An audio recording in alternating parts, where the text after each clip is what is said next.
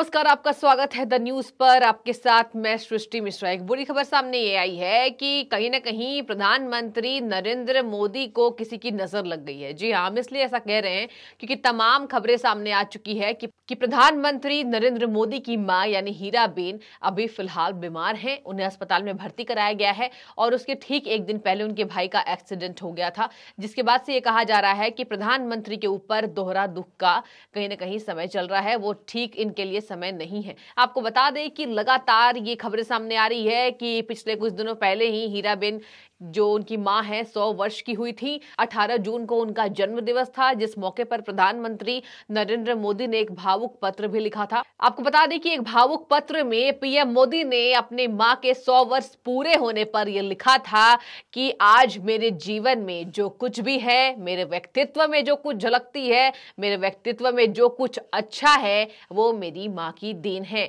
और आज जब मैं यहाँ दिल्ली में बैठा हूँ, यानी प्रधानमंत्री पद की कुर्सी तक मैं बैठा हूँ तो उसके पीछे मेरी माँ का हाथ है। इसके साथ ही आपको बता दें कि उन्होंने एक भावुक पत्र में यह भी लिखा था यह भी बयां किया था कि किस तरीके से प्रधानमंत्री को पुराने दिन याद आ रहे हैं। वो काफ़ी भावुक भी दिखाई देते हैं। उन्होंने ये भी लिखा था कि अगर उनके पिताजी भी होते तो उन्होंने भी अपने सौ वर्ष पूरे कर लिए होते। लगातार अक्सर हम देखते हैं कि किस तरीके से प्रधानमंत्री नरेंद्र मोदी का जुड़ाव जो है वो अपने माता जी से है। हालाँकि आपको बता दें कि माँ शब्द ही कुछ ऐसा है जिसके लिए पूरी दुनिया सिर झुकाती है। अक्सर हम देखते हैं कि दुनिया में कुछ भी असंभव जब होता है तो बच्चे अपनी माँ के पास ही पहुँचते हैं। और इसी तरीके से ये नज़ारा हमेशा ही देश की जनता देखती है कि, कि जिस तरीके से पूरे देश की कमान प्रधानमंत्री नरेंद्र मोदी संभाल कर रखते हैं और कहीं ना कहीं उनको भी माँ की ज़रूरत पड़ती है। तो ये बयां करता है एक माँ बेटे के प्यार के रिश्ते को बयां करता है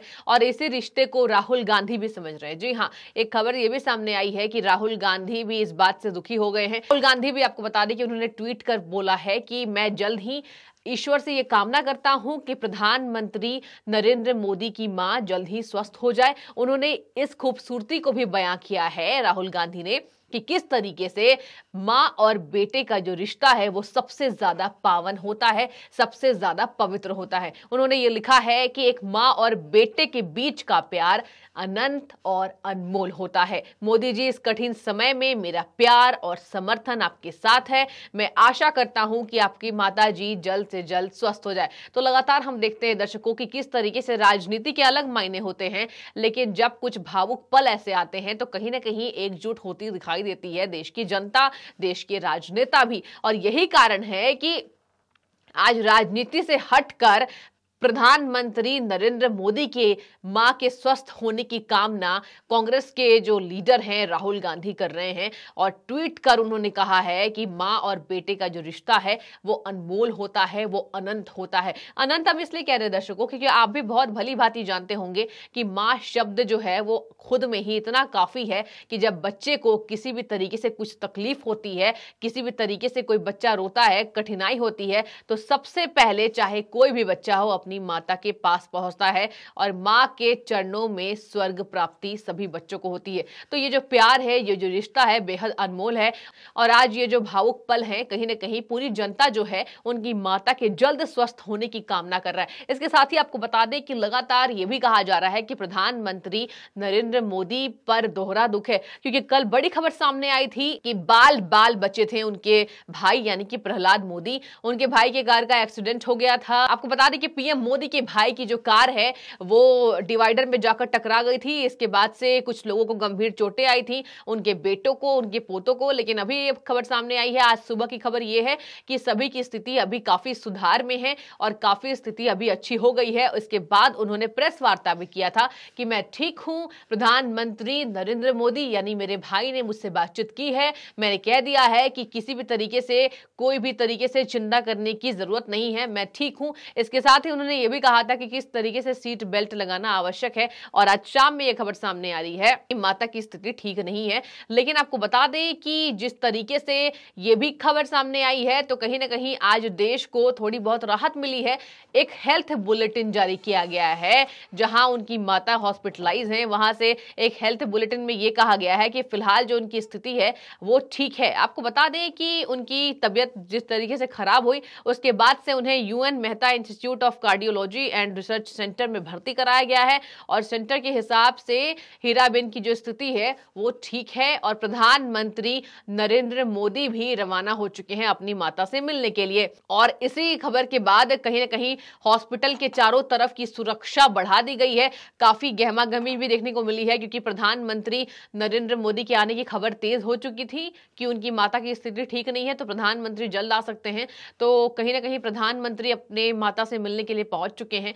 और इसके साथ ये भी कहा जा रहा है कि गुजरात के मुख्यमंत्री यानी भूपेंद्र भाई पटेल भी बीजेपी के तमाम लीडर्स के साथ वहाँ पहुँच चुके हैं।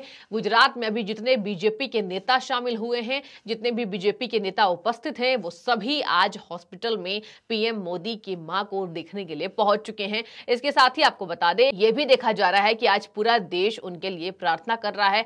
राहुल गांधी भी कह रहे हैं, उनकी माता जल्द स्वस्थ हो जाए। इसके साथ ही जून में ही उनकी माता ने अपने सौ साल जो है वो पूरे किए थे, अपना जन्मदिन मनाया था। और इसके पहले हमने देखा था, अगर उनकी माँ की दृढ़ निश्चयता की मैं बात करूँ तो आपको जानकर हैरानी होगी कि जब वोट देने की बात आती है तो हीरा बेन यानी उनकी माता जो है, प्रधानमंत्री नरेंद्र मोदी की, वो खुद से पहुँचती हैं। किसी भी तरीके से वीआईपी जो है, वो नहीं लेती हैं। और अक्सर हमने ये देखा है तो जो मुख्य तौर पर जो ये बात सामने आती है, वो ये है कि प्रधानमंत्री नरेंद्र मोदी इतने सामान्य हैं, इतने परिवार से जुड़े हुए हैं और इतने जमीनी नेता हैं कि उनकी माता के संस्कार उन पर आए हैं, क्योंकि उनकी माता के संस्कार तब देखने को मिले जब आपको बता दें कि प्रधानमंत्री नरेंद्र मोदी गुजरात में वोट देने के लिए पहुँचते हैं और उनकी माता ठीक उसी तरीके से सामान्य नागरिक की तरह वो व्हील चेयर में वोट देने के लिए पहुँचती हैं और अपने वोट का प्रयोग करती हैं। इसके साथ ही आपको बता दें, प्रधानमंत्री नरेंद्र मोदी भी लाइन में लगे हुए दिखाई देते हैं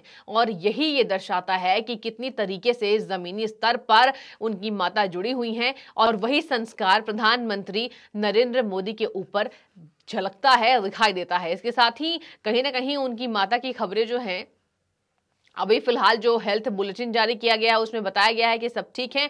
इसके पहले उनके परिवार के कुछ सदस्यों को जिस तरीके से चोटें पहुँची उनके भाई के पोतों को कहा यह भी जा रहा था कि प्रहलाद मोदी जो है वो बाल बाल बचे थे, जिसके बाद से ही लगातार पूरा जो देश है वो प्रार्थना कर रहा था कि उनके भाई को कुछ ना हो। और आज एक बार फिर से सभी लोग ये कामना कर रहे हैं कि उनकी माता जी जल्द से जल्द स्वस्थ हो जाए और फ़िलहाल सभी सुरक्षित है। तो कहीं ना कहीं जिस तरीके से प्रधानमंत्री नरेंद्र मोदी अपनी माता से मिलने के लिए हॉस्पिटल पहुँच चुके हैं। इसके साथ ही भूपेंद्र भाई पटेल को देखा गया। गुजरात में जितने बीजेपी के तमाम बड़े लीडर्स हैं, सभी उनके लिए स्थिति का जायजा लेने के लिए पहुँच चुके हैं।